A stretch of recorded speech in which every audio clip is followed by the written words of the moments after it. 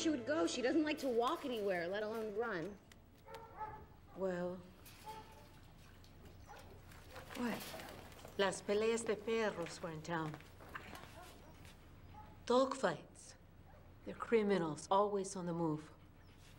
Well, how do I find them? I have heard rumors.